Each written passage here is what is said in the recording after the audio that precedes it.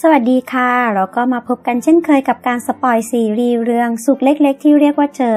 EP ที่ 24 ซึ่งเรื่องราวก็กำลังเข้มข้นเลยนะคะพระเอกก็ได้พานางเอกและจงเจินมากินข้าวที่บ้านของเขา นางเอกเธอก็ได้แต่จ้องมองอาหารตรงหน้าอยู่ จงเจิ้นก็เลย ถามว่าทำไมพี่ไม่กินข้าว เธอเลยบอกว่าเธอนั้นกินไม่ลง พระเอกก็ได้ออกมาจากในครัว เขาก็ได้บอกให้นางเอกนั้นนอนบ้านเขาในคืนนี้ นางเอกเธอก็ได้บอกว่า ฉันก็แค่แขนหักเอง เธอดูแลตัวเองได้ พระเอกนั้นก็ได้พูดกับจงเจิ้นแล้วก็ได้ถามคำถามเขาไป จนเขานั้นตอบไม่ได้ พระเอกก็เลยบอกว่า นายยังนั่งอยู่ทำไม รีบไปท่องหนังสือสิ จงเจินนั้นก็เลยบอกนางเอกว่าเขาจะต้องกลับไปท่องหนังสือก่อนพรุ่งนี้ค่อยมาเยี่ยมใหม่ พระเอกเมื่อจงเจินไปแล้วเขาก็ได้บอกกับนางเอกว่า คิดออกหรือยังจะนอนที่ห้องเขาไหม แต่นางเอกก็ยังยืนยันว่าเธอนั้นจะนอนห้องตัวเอง และเธอก็ได้นั่งกินข้าว แต่ท่าทีที่ใช้ตะเกียบของเธอนั้นมันช่างน่าสงสารจริง ๆ เพราะเธอนั้นต้องใช้มือที่ไม่ถนัดตักอาหาร พระเอกเขาก็เลยส่งผ้าเช็ดปากให้กับเธอ และก็ได้ป้อนอาหารให้เธอ หลังกินข้าวเสร็จนางเอกนั้นก็ได้มาอาบน้ำที่ห้องพระเอก พระเอกนั้นก็คอยถามอยู่ตลอดว่าทำไมอาบน้ำนานขนาดนั้น นางเอกก็บอกว่ากำลังจะเสร็จแล้ว และก็ยังบอกให้เธอนั้น อย่าทำให้แขนโดนน้ำล่ะเมื่อเธออาบน้ำเสร็จ เธอก็พยายามผูกเชือกที่เสื้อของเธอ แต่เธอก็ทำไม่ได้ เพราะเธอมีมือแค่ข้างเดียว ระเอกเมื่อเห็นเขาเขาก็ได้มาช่วยเธอและเขาก็ได้ผูกเสื้อนางเอกเป็นปม เพื่อนางเอกนั้นจะได้เรียกเขาให้มาถอดให้อีก เขาก็ได้ดูแลเธอและเป่าผมให้เธอ ตอนนี้นางเอกก็ต้องนอนห้องพระเอกนะคะ เธอนั้นก็ได้เข้านอนในห้องของเขาส่วนพระเอกนั้นก็ได้นั่งอ่านหนังสือกฎหมายอยู่นางเอกเธอก็ได้รู้สึกปวดแผลขึ้นมามาก ๆ เธอก็เลยลุกขึ้นมากินยา พระเอกได้ยินเสียงเธอ เขาจึงเข้าไปดูและได้หายาให้เธอกิน เขานั้นดูแลเธออย่างดี จนทำให้นางเอกคิดถึงพ่อของเธอขึ้นมา เธอบอกว่าพระเอกนั้นเหมือนพ่อของเธอเลย แล้วพระเอกก็ได้พาเธอไปนอน พวกเขาก็ได้พูดคุยกัน นางเอกเธอได้เห็นรอย น้ำร้อนลวกที่นิ้วของพระเอก เธอก็เลยตกใจ พระเอกก็เลยบอกว่า วันนี้เมื่อฉันรู้ว่าเธอนั้นได้รับบาดเจ็บ ฉันก็ตกใจมาก ซึ่งเขาก็บอกว่าเขานั้นไม่มีความรู้สึกแบบนี้มาหลายปีแล้วและตอนที่เธอหกล้มหัวกระแทก เขาก็ตกใจเหมือนกัน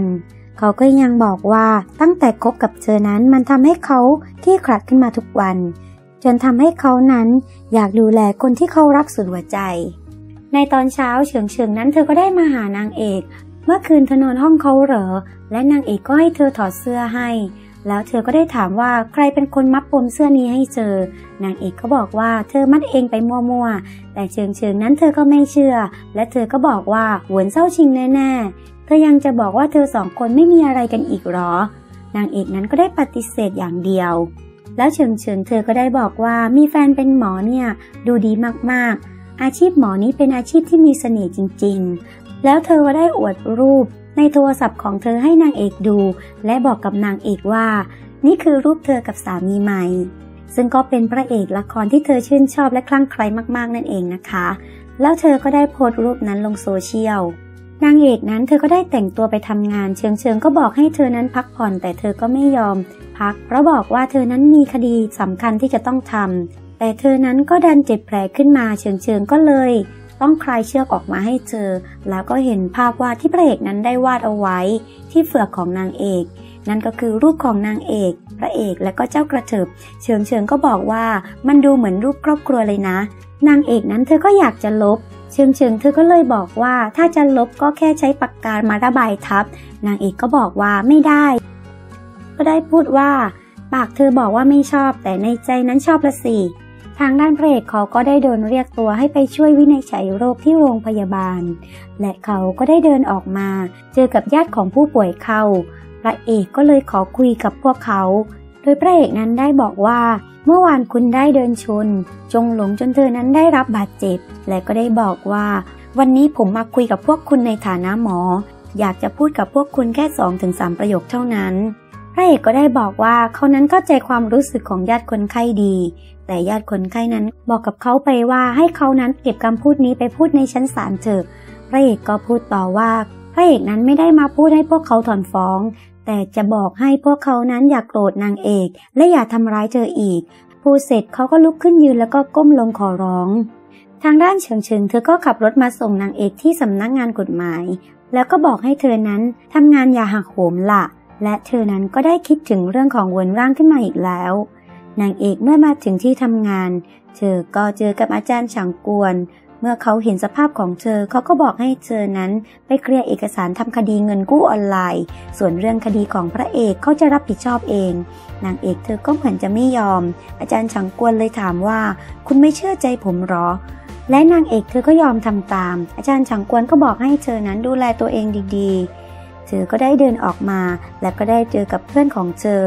เธอได้บอกเพื่อนของเธอว่าต่อไปนี้อาจารย์ฉังกวนจะพาเธอไปทำคดีของหมอหวนมีอะไรเธอต้องมารายงานฉันทันที เพื่อนของเธอ ก็ดีใจมากที่เธอนั้นจะได้ทำงานร่วมกับอาจารย์ฉังกวนแล้ว ทางด้านหวนรางเขาก็แอบส่องดูเชิงเชิงอีกแล้ว และก็ยังไม่มีความเคลื่อนไหวของเธอเช่นเคย เขาก็ได้กดส่งข้อความไปหาเธอ และก็บอกว่าโทษทีเมื่อกี้ส่งผิด เฉิงเฉิงก็ได้ตอบกลับมาว่า อืม เขาก็ได้ไปปีนเขา และก็ได้ยินเสียงข้อความของเฉิงเฉิงดังขึ้น เขาก็เลยพลาดท่าตกลงมา แล้วก็รีบไปดูข้อความนั้นทันที ตอนนี้ถึงเฉิงเธอก็ได้โพสต์รูปคู่ของเธอกับสามีใหม่ ที่เธอนั้นได้บอกนางเอกเอาไว้เหวนร่างเมื่อเห็นรูปนี้เขาก็รู้สึกกระวนกระวายใจ และก็ได้โทรไปหาพระเอก และถามว่านายรู้ไหมว่า เฉิงเฉิงนั้นกำลังจะแต่งงานแล้ว พระเอกก็บอกว่า อืม รู้สิ และก็บอกว่าอานั้นเป็นคนเย็นชาเอง จะให้ทำยังไงได้ ซึ่งตอนนี้หวนร่างนั้นก็ได้รู้ใจตัวเองขึ้นมา และไม่ต้องการที่จะเสียเธอไปอีกแล้ว เมื่อเขากลับมาถึงบ้านก็พบว่า คนเช่าบ้านนั้นได้มาก่ออิฐเพื่อปิดทับประตูทางเชื่อม เขาเลยได้แกล้งคนเช่าบ้านทำให้คนเช่าบ้านนั้นต้องเรียกเฉิงเฉิงมาคุย และบอกว่าจะเลิกเช่าร้านแล้ว เพราะเขานั้นรับคนข้างร้านที่บ้าเหมือนหวนร่างไม่ได้ เธอก็เลยลากหวนร่างออกมานอกร้านเพื่อที่จะคุยกับเขาให้เข้าใจ หวนร่างก็ได้ถามว่า เธอกำลังจะแต่งงานหรอเฉิงเฉิงก็ได้ถามกับเขาว่าทำไม แล้วเขาก็ได้บอกว่า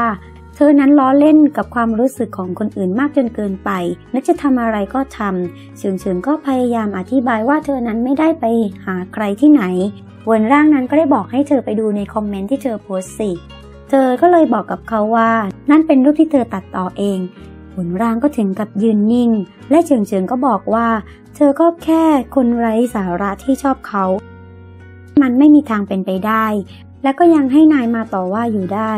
และเธอก็กำลังจะเดินออกมา แต่บนร่างก็ได้จับมือเธอ และก็ได้ดึงเธอเข้ามากอด และก็พูดว่าคบกับฉันเถอะ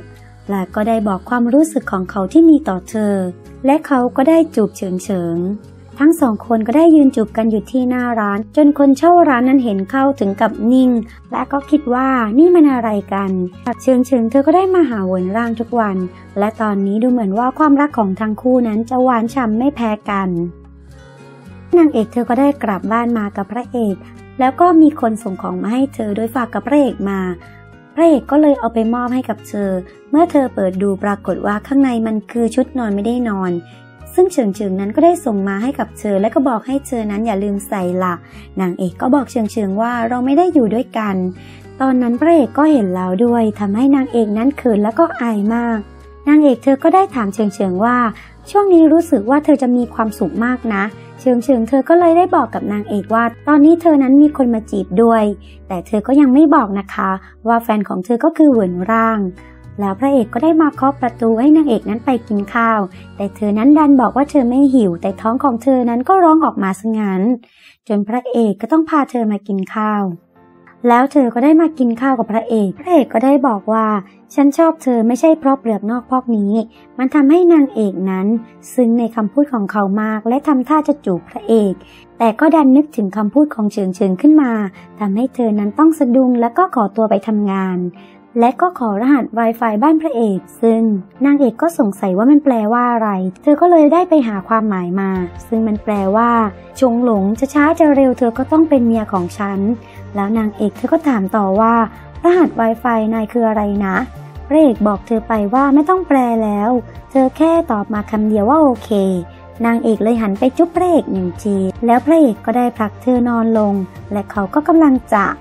และเรื่องก็จบลงสำหรับ EP ที่ 24 ตอนนี้ความรักของพวกเขาก็กำลังหวานฉ่ำกันเลยนะคะ เรื่องราวจะเป็นอย่างไรต่อนั้นเรามารับชมการสปอยล์ตอนต่อไปได้ที่แฟนหนังสตูดิโอสำหรับวันนี้ก็ขอคนละหนึ่งไลค์และกดติดตาม เพื่อเป็นกำลังใจในการทำคลิปต่อไปด้วยนะคะ ขอบคุณค่ะ